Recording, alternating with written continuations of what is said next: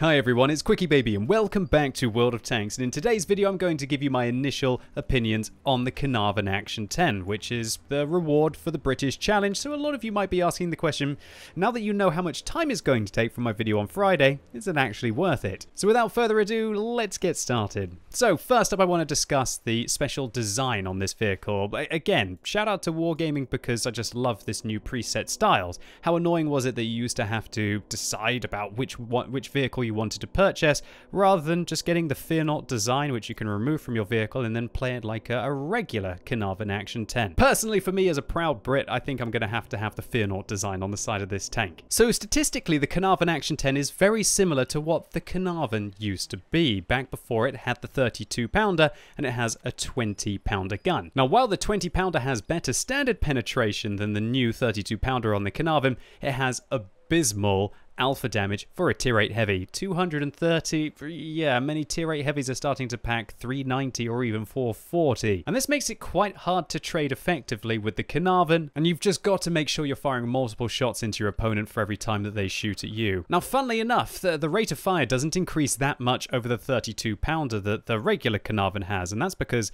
the regular Caernarvon has incredible DPM, but remember, this is not a premium vehicle, and this Caernarvon Action 10 is. Consequently, this means that if you are looking for very high DPM on a tier 8 premium heavy tank, well, then there's no competition really. The Caernarvon Action 10 is way ahead of even the KV5, which has abysmal penetration. And if you want to be playing a premium tank with good penetration, well, then it looks like you're going to have to be playing on the Asian server alternatively pick yourself up a Patriot. Gun handling wise, the Caernarvon Action 10, well, it's, it's pretty good news here. 2.3 seconds aim time, but that's not nearly as good as it used to be back with the old 20 pounder on the Caernarvon, which had 1.9 seconds aim time. The accuracy is just a little bit better than the, the standard Caernarvon, but it kind of suffers when it comes to the turret traverse. This is not very good turret traverse for a gun with very bad alpha damage, and you're constantly going to have to be readjusting your aim even when you make small movements in the turret to be able to try and get your rate of fire actually going. Now, one thing that the Caernarvon Action 10 has is 10 degrees of gun depression, which is lovely, because that means that you can go hull down and hide the atrocious lower plate that I'm going to be highlighting in a second. Mobility-wise, it's just a little bit faster than the regular Caernarvon, we can see with regards to its forward speed, its power to weight, but its traverse is actually just a little bit worse across all terrains, even though it doesn't look like it would have, but that's because this thing doesn't have an upgradable engine like the Caernarvon has, and that messes with the statistics. Alright, so now on to armor. It's got to be one of the most important things about a heavy tank, right? And the Caernarvon Action 10 is, is kind of a bit of a mix here. Look at this awful lower plate, 100 millimeters of effective. Everything is going to penetrate this. Look, even if you over angle the tank like this, even tier 6 medium tanks are going to be able to go through your lower plate. The upper plate not so bad, 215 when you're not angling it at all, and when you're kind of working it on a ridgeline like this, the upper plate is absolutely fantastic. But let's put it into a more realistic scenario. You've been caught out in the open, and you're going backwards and forwards, hoping that your opponents are going to miss your lower plate and hit your upper plate. How, how much armor are you going to have? Well, about 220? Yeah, that's not really going to bounce any tier 8 or higher vehicles, unless you get a little bit lucky, but it still can be a little bit useful. Now, one thing that's great about the Caernarvon Action 10 compared to the old Caernarvon Caernarvon is that the side plate here is 254, so you can actually now side scrape using this tank, unlike you could do back in the day with the original Caernarvon with the 20 pounder. Turret armor wise, we can see the vehicle also has 14 millimeters of spaced armor over the cheeks, a lot like you would get on the Super Conqueror. But the turret armor on this vehicle, if you're not angling it at all, again, it's definitely fallible to tier 8 and higher tanks, but as soon as you've got this thing on a ridge line, wow, now we're talking this kind of sloped forehead of the vehicle is now pretty much an auto ricochet against everything, and even heat rounds are going to have a 50-50 chance to bounce off with 330 millimeters of effective armor. Now the spaced side armor here, of course, that's going to be great against high explosive and heat rounds, and it does provide the tank with some protection from the side when you want to be engaging an opponent, and you don't want to have, and you still want to be able to ricochet vehicles that might be shooting you from the left and the right. So we can see about 217 it's going to protect you from the smaller rounds, but definitely not from the larger rounds. And the whole of the side profile of this tank is just as garbage as the regular Caernarvon, and it's a really easy big box of a tank for artillery to hit on the back with only 17 millimeters of upper hull protection. And so all in all, this means that you want to try and get your Caernarvon Action 10 on a ridgeline if you want to be successful. Now onto some of the softer statistics about the vehicle. The health, slightly less than the regular Caernarvon, and the view range, now this is a bit of a shocker really, 380? Yeah, that's really awkward. I feel if I'd had 400 meters base view range, I could have used improved vents on this tank, but I would probably recommend taking coated optics instead, because 380 base view range, you're never, even with a very good crew, going to get high up into the, the 440s or even the 450s if you're using vents. In fact, you're probably going to struggle to get there, even with coated optics, even with a quite skilled crew. But anyway, I think that's quite enough jibber jabber. Let's see how it does on the battlefield.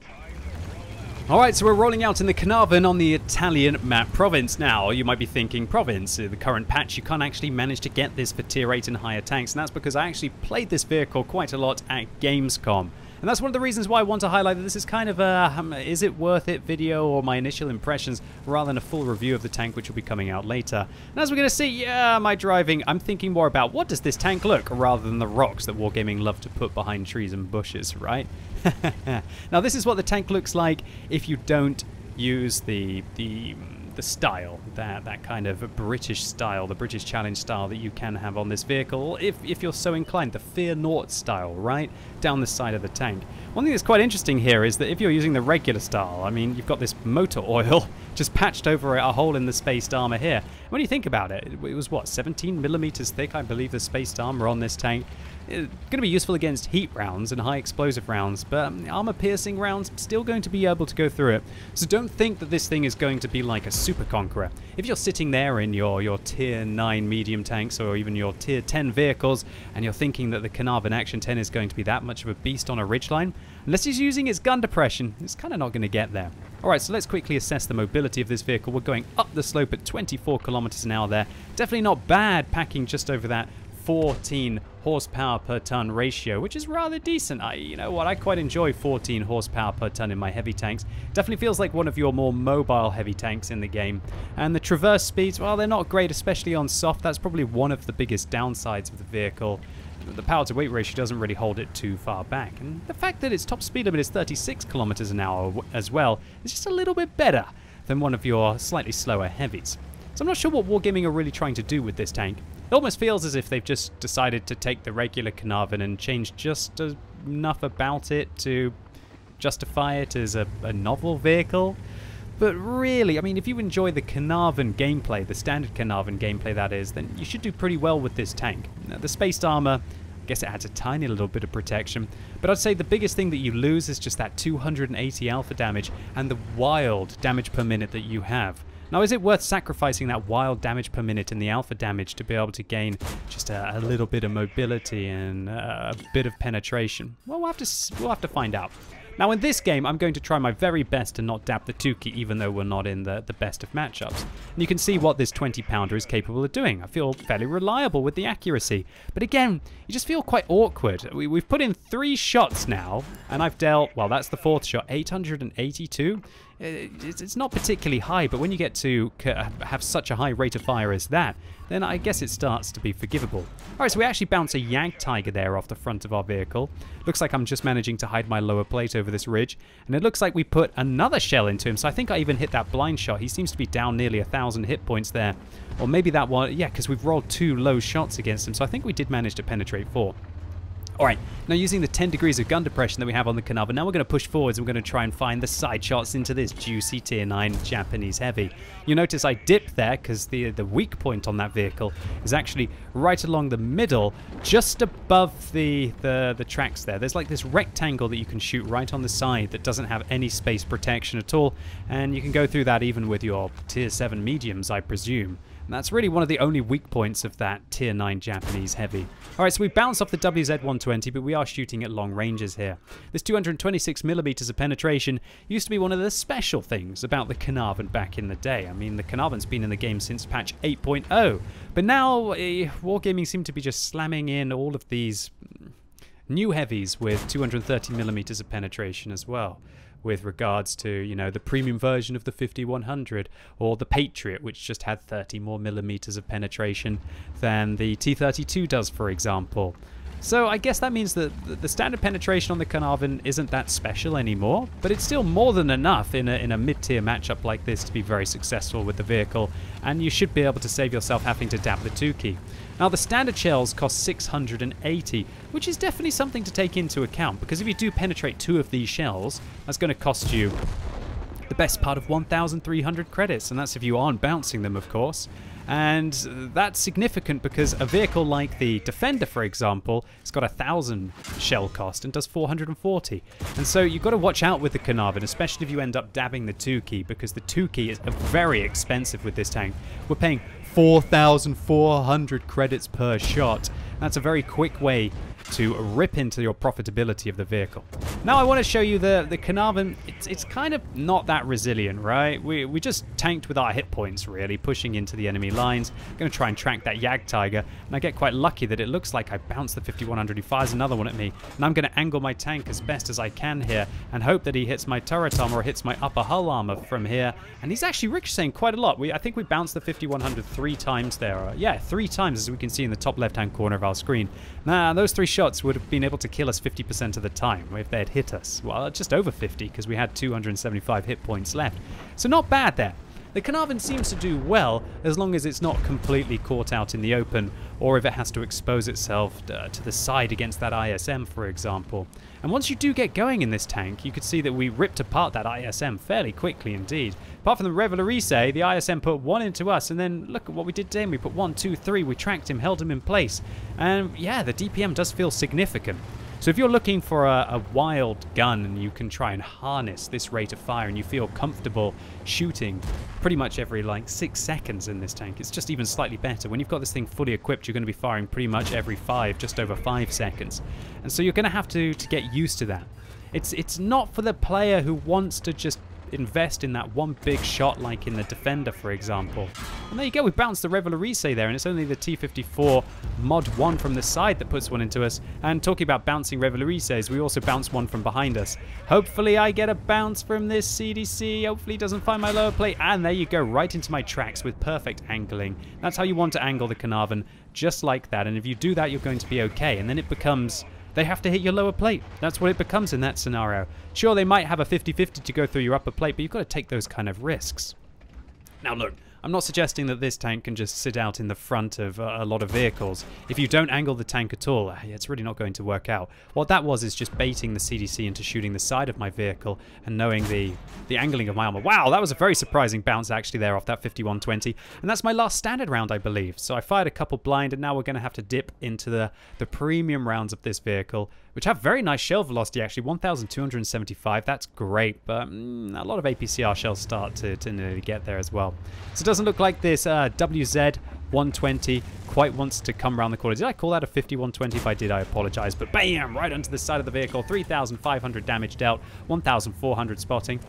And yeah, not too bad of a game here for the Caernarvon Action 10 on Province. So not a bad round here for the Caernarvon Action 10. We pick up a steel wall medal for, I guess, those fortunate ricochets, but we also defended ourselves uh, as well as we could, blocking 2,000 for the 12 shells that hit us, dealing 3,748 damage in not the best matchup, 1,474 base experience points because I was spotting for myself at least most of the time, and 94,000 credits profit, so we didn't need to fire many premium rounds until we completely ran out of standard ammunition ammunition. But it's definitely something to take out that I can imagine in a tier 10 matchup when you're going to be wanting to dab that 2 key or alternatively when you're just ricocheting your standard rounds, the Caernarvon Action 10 is probably going to be quite expensive to resupply. But then again, when it comes to British Heavy, what choice do you have? Do you want to be playing that freaky FV215B at tier 7? Well, not really, but do you want to play the TOG to train up your British Heavy crews?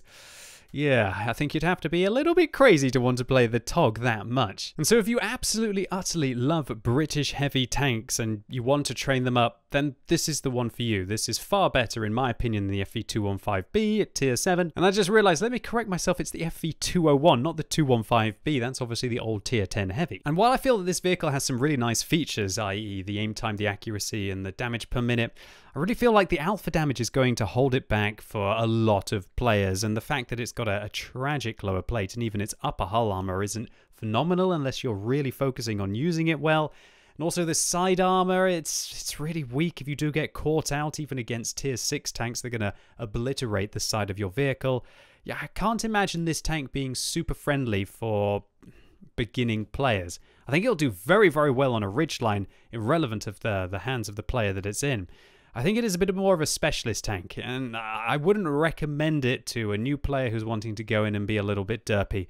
You're far better to play a Patriot, in my opinion. That's going to be far more forgiving. And while I also think that the upgrade in the damage per minute is not really worth the, the disadvantages this thing has over the Patriot, it's by no means a terrible tank. And if you, you do play enough in the marathon to be able to unlock this for free, well, then you're going to be quite happy with it, I should imagine. Now, how much, how, what, what do I think it's worth in actual purchase price? I don't know. Personally, I think that if you can manage to complete about six or seven stages of the British campaign, yeah, I think it's worth it. But like hell would I be wanting to pay kind of like 40, 50, 60 euros for the Caernarvon Action 10. I don't think it's the latest and greatest tier 8 premium heavy. And I think if I already had a Defender or a Patriot, I'll probably give this one a bit of a skip. Anyway, ladies and gents, boys and girls, that's it for today. I hope you enjoyed this video. If you did, make sure you give it a thumbs up, but if you hated it, give it a thumbs down. And if you're watching this video as it's released, it's time for another World of Tanks Tech Tree Showcase on twitch.tv forward slash quickybaby. And this week, out of the 346 of you who voted, it was a real close one by the looks of it. Lots of lots of tanks in the in the the tens and the mid tens here, but and the, also the WZ113G lost by a single vote to the T110E3. So come along right now as I probably play the best tank in the game for when you just absolutely, utterly want to push through or be this this rock that the enemies are going to wash upon and usually futilely as I'm going to be showing the entirety of the tech tree so you can see if it's a line that's maybe worth grinding or alternatively if you already have the tanks pick up a few tips and tricks along the way and I expect I'm going to be playing a few fan favorites as well, like the T95. So come along right now, really looking forward to seeing as many of you as possible. And as always, thank you so much for watching. You've been epic, and hopefully I'll see you soon.